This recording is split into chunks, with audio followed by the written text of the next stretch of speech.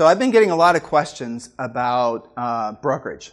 We get a lot of emails. A lot of people asking about different forms of brokerage. A lot of people asking about the future of brokerage. It seems to be like an omnipresent question in real estate. Oh my gosh, what's going to happen next? And it seems like everybody likes to be fascinated about these new age tech companies. And I mean, I guess, I mean, some of them are pretty interesting, but all of them sort of revolve around cutting commission.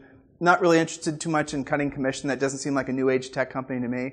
And the ones that are really doing phenomenal in the marketplace are ones that put agents first and they don't think of themselves in the real estate business, they think of themselves in the agent business. And if those of you guys who are involved in brokerage, you'll know what I'm talking about.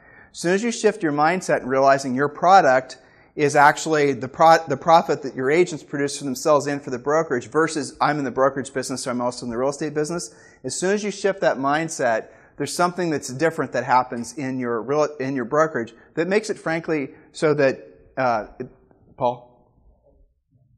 And I think Elite Pacific uh, Realty is probably one of the best examples of that in the country. They have, and I met Margaret through coaching, and they have one of the most, and it's like when I talk to her, it's not like brokerage conversation. It's a conversation about how can I help the agents. And uh, that's such a rare thing. I, so I'm going to start out by asking a question, and you guys can fight over the mic and whoever's going to answer it. But how did you decide, well, since Paul's got the mic, how did you decide when putting the brokerage together? Where did that mindset of realizing that the agent is the product? Because you've said that, we've had that conversation. Where, where, where, did that come from? That's not a normal thought. It is our customer. Um, as a brokerage, I guess it may have come from the fact that I'm actually not a licensed realtor.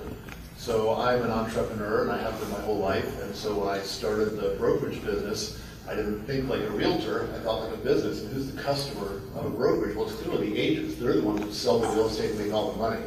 I wanted to start a, a brokerage in which I didn't make money off my agents, I made money with my agents. The only way I could succeed is if the agents succeeded.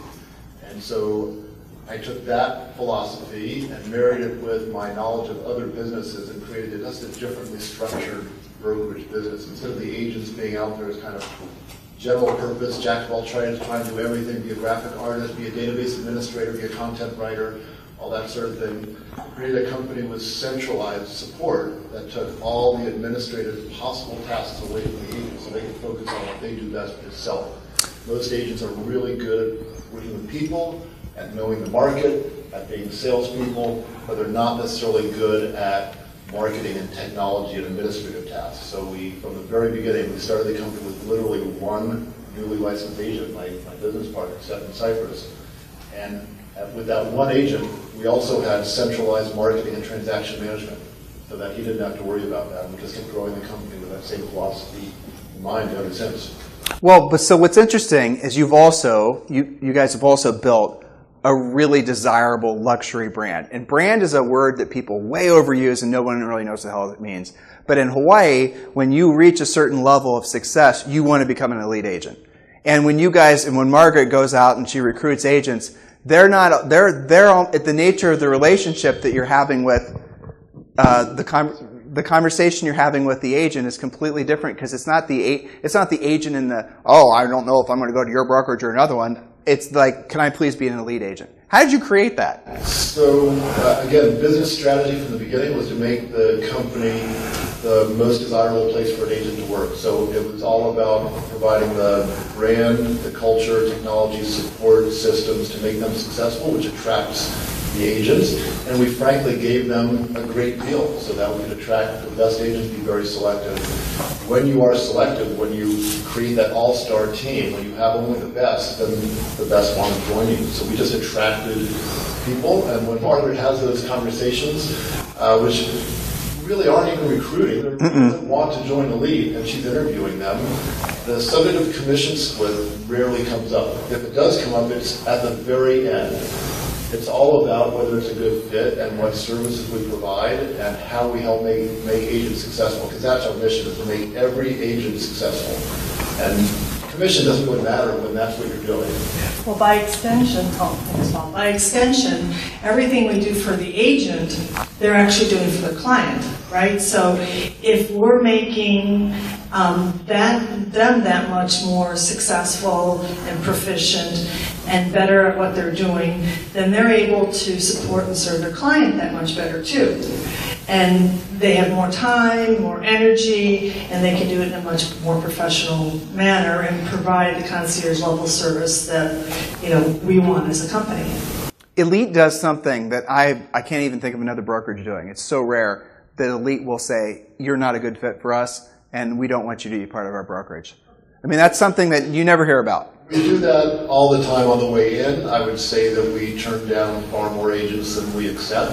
We're only looking for, you know, the normal full, full-time professional career-oriented agents, but also those who have great performance for their clients and great uh, service to their clients. It also has to be a cultural fit. So we have, as a company, we have a success culture. You have to want to learn, grow, be better, be the best you can be. We're not a place for agents to kind of cruise and relax and just half measured. So if you're not that kind of a person, you're not going to be a good fit with Elite. And then we're also a very team-oriented uh, culture and not the sort of real estate team, but in that everybody helps. It's more of a, it's like a community. It's a statewide company. We, we're on four different islands in Hawaii, and everybody likes each other, helps each other. They'll help each other stage and price and do showings and give their best ideas. It's not a competitive situation. So when when there are agents that may be top producers and they're interested, they may not be a fit for us by terms of culture. Um, and then we also have standards to stay at Elite. And so Margaret has a fun job every quarter of inviting some agents to leave the company. And these are agents that are frankly profitable for us. Sometimes they're very solid producers and there's some uh, culture issues or performance issues, not in sales, but in other elements, service, ways they interact with uh, other members of the team, with the real estate community that are not acceptable for us. And then there's also performance. So we require uh, a minimum of $3 million a year in production. So if we look back every quarter, have they met that standard? And unless there's extenuating circumstances, Margaret has to explain to them why that's not a good fit for Elite. They might want to join our sister referral firm, or they might want to join another brokerage firm, or they might, maybe they should get out of the business because they're not making a living at it. It's not good for them. Well, that's again putting agents first, and that's being honest with them. It's not just the typical body shop model that's been around since the 70s.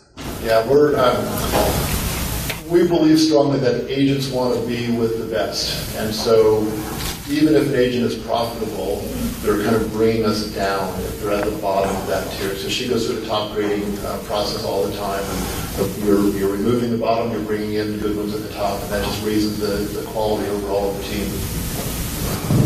One of the things that we started doing, in fact, Tim will tell you, is making sure that our agents are best in class. Because as we were talking about the possible recessions coming up, best in class always survives. And um, in fact, we've had gr- great focus on listings and being a listing agent. And you know, Tim and Julie have really helped a lot as far as preparing our agents. You know, a lot of people are afraid to be listing agents for all the reasons we know, but um, you know, we really spend a lot of time with our agents trying to develop them to be the best they can be for you know for the future. Well, you know, I'm going to give you guys a compliment because I we literally get blackballed from brokerages because they don't want us saying what we say. They don't want us telling people, agents, because of what Brandon said, because they're worried about the agents aren't going to be able to handle it. And that's your philosophy. That's not an agent. I'm in the agent business philosophy. That's in the not. You're not thinking about what's best for the agent when you take that approach. And so that's some. I would give you guys. Uh, that's probably one of the biggest reasons people are attracted to you. That it's getting feedback. Yeah, that's probably one of the biggest reasons. And that's the reason that you guys have become the number one, one of the many, real estate brokerage, number one luxury real estate. You have the highest sale price, not by a little, but by a lot, and an incredibly competitive international market. It is very, very competitive, and we're, we continue to gain market share. We're, we've grown very fast. 2017, uh, sales were up 58% over 2016. This year, they're up 29% over last year. In a market that is slowing at the high end, which is what we focus on, and so the luxury market is, is slowing a little bit in, in Hawaii also. Um, I was going to give you a, a compliment, Tim. One of our agents that um, that has listened to you she had a little business going where she was spending a lot on advertising. She had two assistants. She was doing big top line numbers, and really she wasn't making a lot of profit. And so she decided, you know what? I'm going to cut back. I'm going to spend less money on all that marketing and less on assistants, and I'll make more profit. And I think that was the right advice. And we try and give our agents that advice. Well, it's because if your agents have financial stability themselves, if the storm clouds do brew, or in your case, the volcano, right? Which is, I mean, is an omnipresent problem. It seems that damn thing's not going away. But I understand it is creating a lot more new real estate for you guys. Quite literally. Not no, not really, not very valuable. That's been a little bit of an external factor for us on, uh, on the Big Island, for sure. Actually, where Margaret lives, the, uh, the Kona area, even though it's not close to the volcano, very much impacted. Uh, we also have a vacation rental business, and so it's been impacted as well. And uh, the, the national media has not helped us because they don't really differentiate. They don't show that the volcano is in one tiny little part of one island have nothing to do with the rest of the, the state. Uh, they, they just say Hawaii, volcano, people are fleeing, houses destroyed. So that's not been helpful for us. That's true. And I'll, if I, if you don't mind, can, for all the people listening on that little Me- Mevo camera there, right? Is it okay that we invite them to attend the event in November? December? Sorry, you gave me a look. I was like, you're like, did it get moved? right. So we're going to be in uh, Hawaii in December. So if you guys would like to attend, there'll be, I'm sure we'll create some way for you to attend. And for those of you who are watching online, then same offer extended to you as well. Tax deductible trip to Hawaii. Yeah, that doesn't suck. Which island? Oahu. It's on Oahu. It's uh, it's a Friday. All December day, 14th. 14th all day event with Tim and Julie. All day. I, we have like an hour. Oh, oh, okay. Hey, you know what, Julie? We'll save the afternoon notes for that. Then, um, after that, you can you know spend the weekend and Christmas shop.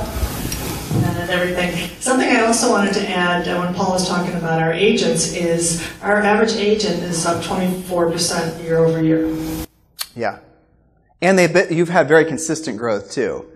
It's you know it's it's interesting when we have one of your coaching when one of your agents become a coaching clients and you talk to them, they don't have their minds going with all the other clutter about things they have to do because you guys are doing them for them.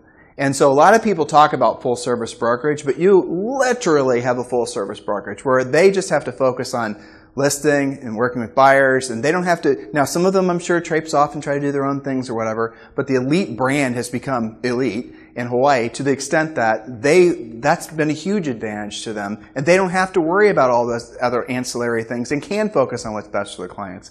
Again, people say this, but how many people have actually done it in the country? Not very many. We also have a really large focus on personal improvement.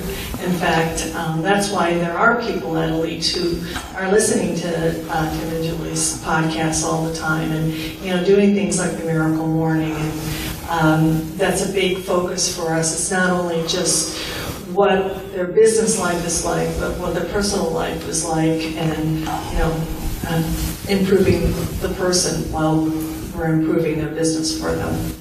Great. Any questions, guys? No questions, Brandon, Mr. Big Broker? Oh, que- oh, I know you had a question, of course. All right, so do we have somebody who's going to be carrying around mics? Oh, no, Tom had to go do an errand. I guess we're going to recruit, uh, oh, camera guy. I'm guessing camera guy probably is like seriously skilled at it. Uh, Mike behind me. Is this one that was giving feedback to him? Well, I like how everyone's been forced to become an AV specialist. So uh, I think we had a question. Yeah.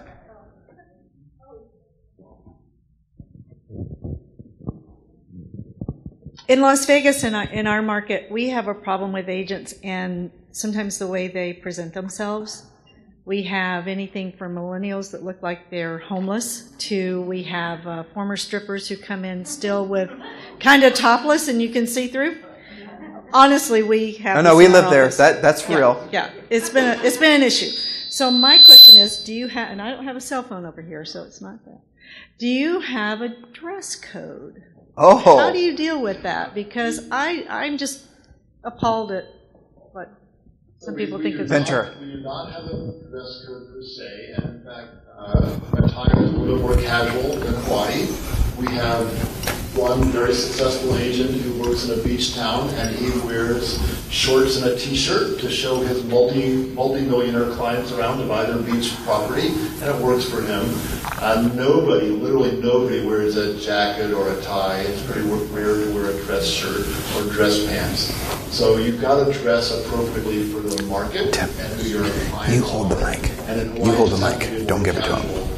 So they're going to wear clean, respectable clothing. We don't, uh, we don't uh, allow in the company people who dress the way you've described, so we don't have that issue.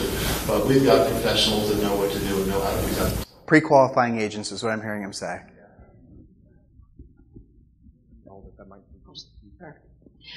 Could you talk a little bit more about your event? Oh, talk about the event. Sorry, sorry about that.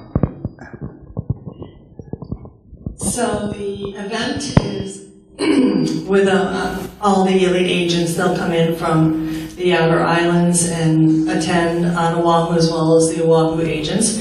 And um, basically, uh, Tim and Julie will do a little bit of what we've what we've seen today, but it's going to be more aimed at probably you know a, a more of a day to day sort of as opposed to the higher level uh, agent um, education that we've received today. Um, likely there'll be something on listings because that's one of my big focuses, and I'm always bugging Tim to help me with that. So I, um, you know, it'll be a, a nice a nice event. I'm not sure.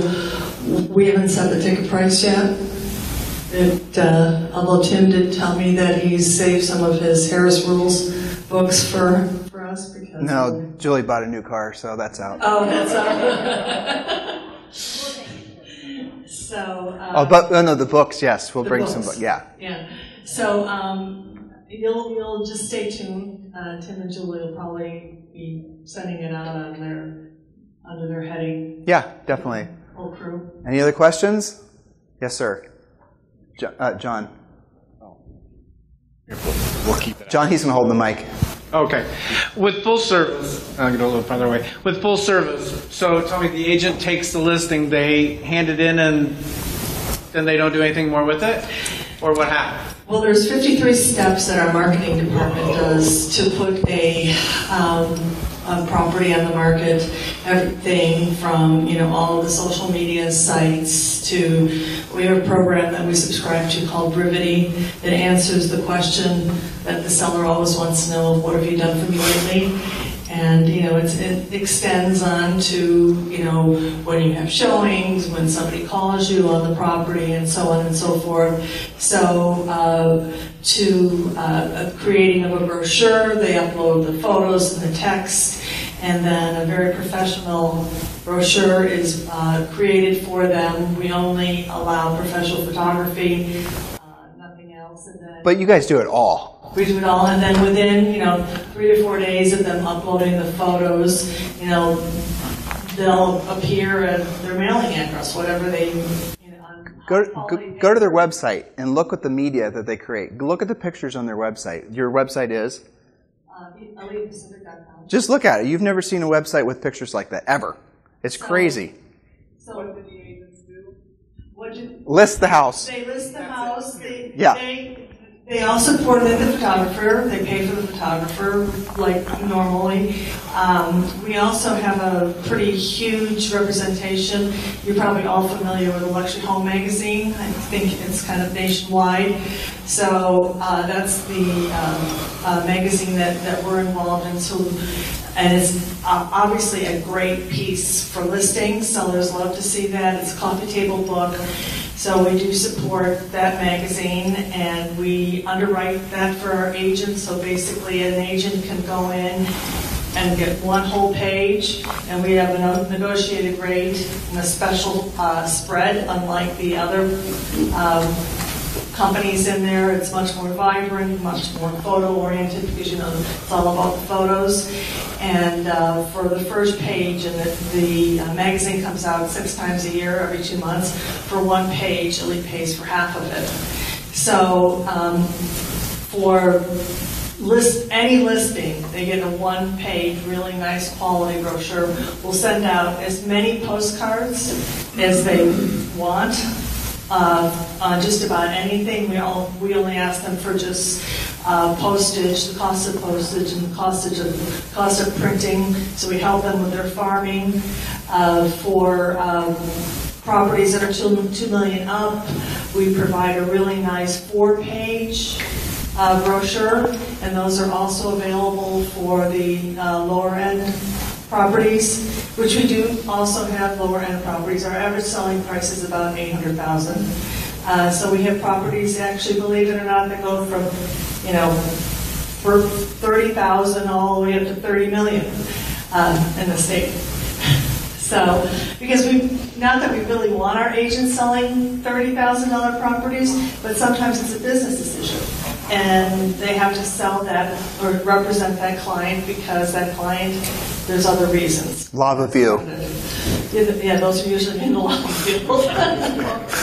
Any other questions? So let, let me add a little bit more to the, what do we do and what do the agents have to do? So, um, the marketing that Margaret was talking about, it's a, we have a nine-person marketing department that does all of that property and personal marketing for the agents, so that once they get the listing and supply the description of the photo, we take over all the things that Margaret talked about. That's a huge time saver. The other really meaningful time saver is transaction management.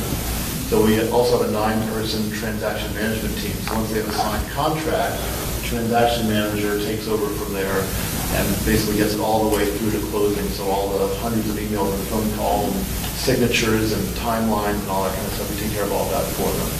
Coaching and training department, that's putting out training materials all the time and does some internal coaching as well uh, administrative help, so like getting their uh, contacts into their, the CRM, we provide them with all of their subscriptions, all their technology subscriptions. They don't have to figure out what's the best CRM or what's the market trend reporting system and all. We just, we take care of all of that and all the integrations for them. So basically, anything that can be done centrally, we do centrally, so the agent can stay focused on sales. Good. Brandon? Are they paying, are you, are they paying for that? Is it in, is it in the split? Is there a transaction fee? Like He runs a how- big 'cause brokerage. You want to be profitable, I'm sure. You need to be. Well, we already learned that brokerage means you get broker. Right. Right. So the other part is that you age. I think those are the two parts of brokerage. Is you get brokerage and you got it. So, um, yeah, it is a struggle to get reasonable levels of profitability out of the brokerage business, and uh, frankly, I think it's just going to continue to get worse. Um, agent splits have gotten higher and higher historically over time.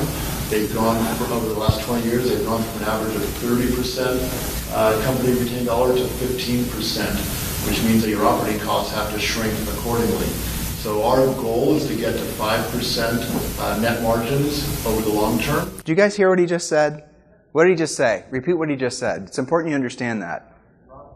Well, profit from the brokerage at their level is 5%. By the way, right. And by the way, the national average is less than 3% for brokerage. And brokerage is a low margin business. You've got to be very efficient. And to your point, we provide all of these services for free, which is very expensive, and we don't get a high split either. So it is the, just a fantastic deal for the agents. And the reason we do that is so that we can attract the best agents. And then we use that brokerage business to drive higher margin ancillary businesses. Uh, So, for example, we have a very substantial thriving vacation rental business, which makes sense, we're in Hawaii, right, a lot of vacation rentals. And most of those luxury homes that we represent when our clients buy them, they want to vacation rent them. So we can manage that as a trusted partner for them. And vacation rental is a much higher margin business. We also have a long-term property management business, again, higher margin business. So we use this very high volume brokerage very high volume but low margin brokerage business to drive these other two higher margin businesses. And that's our business strategy to survive. And I don't think it's going to get easier on the brokerage side because of these different business models that are out there. And they're, you know, we'll see how they do. My personal belief is that um, They're going to continue to take market share slowly. It's not like tomorrow, suddenly everybody's going to be using Redfin. Not going to happen, but little by little, they're going to keep on encroaching, and that's going to keep on reducing the, the commission price that the client is willing to pay because they have these alternatives. And it, it doesn't mean that everybody's going to use it, but when you have competition, it does impact pricing. So I think that uh, listing commissions will continue to get squeezed just as they have, from six nationally down to in the low fives nationally now. And the commission that you have to pay to agents will keep getting higher over time. And so from a brokerage standpoint, that's not a good combination of factors right there. So you have to keep on being more and more efficient and making money on on ancillary businesses. And focusing on recruiting agents that are actually going to be very efficient at selling houses and listing agents. So Yeah. we couldn't do what we do if our average selling price was two hundred fifty thousand dollars. We can only do it because our average selling price is eight hundred thousand dollars. So that does help us. That's an important point. All right, Louis, yeah, go ahead. One more question, and then he's going to hold it, Luis. Uh, are, are these things that you're, you're implementing, are they system, systematized where you could sell them to somebody else or somebody come to you and say, hey, I need this kind of marketing, I need these 53 steps, can I pay you to market for me, kind of thing? Number one. And number two, are you branding your company or are you branding the agent to where if they leave, they're taking all that marketing that you did for them, kind of thing? Those are interesting questions. So for other agents? We absolutely could, but we wouldn't want to. You know, that is our, one of our strategic competitive advantages that attracts agents to us. If we did it for other people, then they'd be less likely to join us and we'd be in an even worse business than we're in right now of doing services for agents. Um, we do allow our agents to brand themselves. We encourage that. One of the very first things, we have a very structured onboarding process. And the very first thing we have them do is go get their own domain name so that they can brand themselves, have their own domain name that'll point to the website that we provide for them or to their own website. We don't care, we want them to own it. Again, it's being the agent business. We're doing what's right for them. So we let them, if they want to come up with a, a team name, that's fine. If they want to come up with their own little branding, that's fine. By state law, they have to use the Elite Pacific name and logo. And of course, we require that from our branding standards as well. One of the hidden benefits of providing all of the marketing for our agents is that it ensures that it's all done consistently high quality to our standards. So every brochure from Elite Pacific Properties listing looks the same. They're all laid out the same way, all formatted the same way. Every email looks the same, and so forth. So I, I don't know that there's any marketing to take. They could keep that format if they left us, but luckily, like, agents don't leave our company, so. Unless asked to. Yeah, and, and we rarely see them again. Yeah. Well, they're usually not, yeah. All right, uh, yes. Uh, we have, wait for the mic, please, ma'am.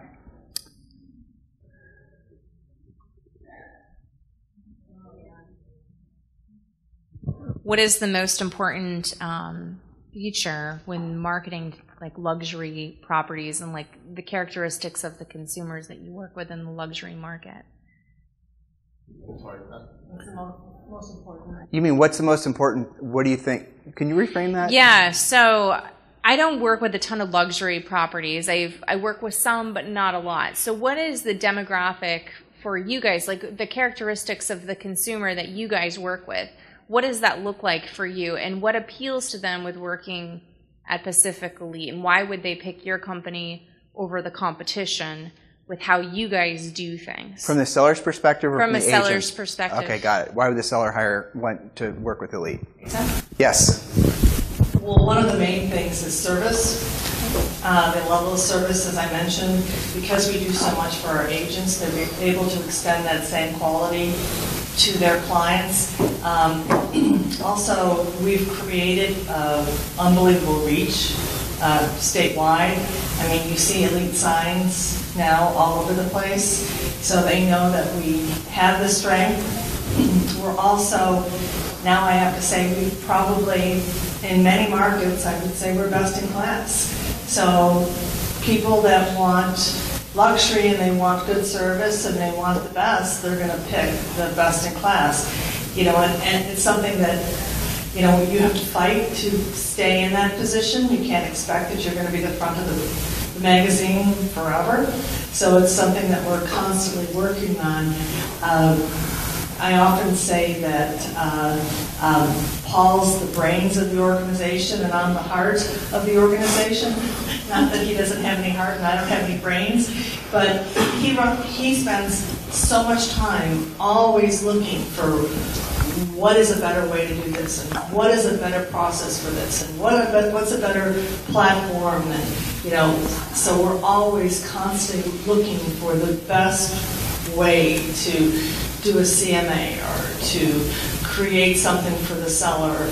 You know, we're constantly looking for the very best, and then he'll take and he'll find that, and he'll get with the uh, manufacturer or the producer of it, and then customize it over and over on top of that until it, until it you know, meets elite standards. You just said an important word, standards. So we have very high standards in everything that we do, and that's the agents that we select and the properties that we list and the way we do our marketing, the way we support our agents, and that is an important part of the uh, attracting a luxury clientele, is having those high standards, high consistent standards. So like Margaret said, only professional photography for, for everything. That even includes if there's a $100,000 condo, it's professional photography because you don't know who's going to see it. So anything that touches the consumer must be very high quality. Specialization is also very important. So we knew from the start when uh, we started the business, it was to be a luxury brokerage. So for the first year, we literally didn't accept any listing under a million dollars so that we can establish that brand impression, that positioning in the marketplace you can't be all things to all people. You have to specialize. And then the final thing I'd say is that the, uh, the luxury client wants to work with an agent that they can view as a peer, a social peer, an intellectual peer. They have to be able to communicate on that level. That's the biggest barrier to entry for most agents that want to work luxury. They may not be able to because they may not be able to communicate with that client as a peer. They're just not going to be accepted therefore as, as uh, somebody on the list. That is something I never heard actually someone be that honest about, and that is the truth. Yep. Right. I really appreciate you guys coming today and flying that long flight. And thank you for having us out in December. Thank you.